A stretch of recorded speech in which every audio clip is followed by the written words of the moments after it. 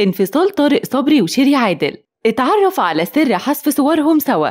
حذف صور الطرف التاني في عصر ال social media بقى معناه إن في كارثة أو مشاكل كبيرة. ومؤخرا الفنانة شيري عادل أثارت الجدل وفاجأت الجمهور بحذف كل صورها اللي بتجمعها مع زوجها الفنان طارق صبري على حسابها بموقع تبادل الصور والفيديوهات الشهير انستجرام وبعد حذف شيري عادل لصورها مع طارق صبري فسر رواد مواقع التواصل الاجتماعي الخطوة اللي عملتها شيري بإن في مشاكل كبيرة بينها وبين طارق صبري ممكن تكون وصلت للانفصال وده اللي خلاها تحذف الصور وبكده بتعلن عن انتهاء العلاقة بينهم وده على حسب تفسيرات رواد مواقع التواصل.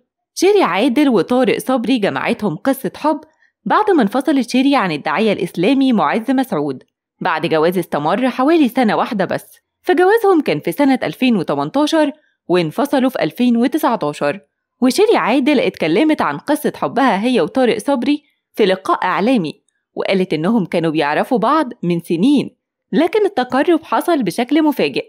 وقالت كمان إن الصداقة اللي كانت بتجمعهم تطورت لعلاقة حب بشكل سريع. وبتتابع وتقول كنا نعرف بعض من أيام مسلسل بنات سوبرمان.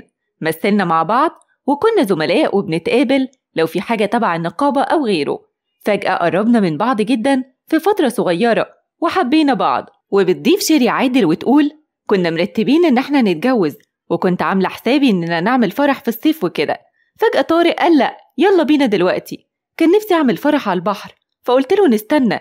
قال لأ نتجوز دلوقتي ونبقى نعمل فرح في الصيف. بس حاسة لو عملنا كده هيبقى شكلها غريب شوية.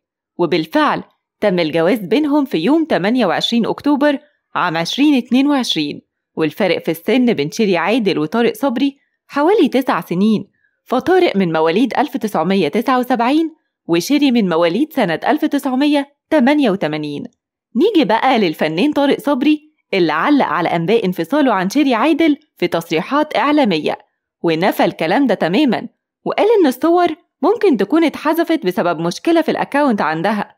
والله يهدي اللي بيطلع شائعات.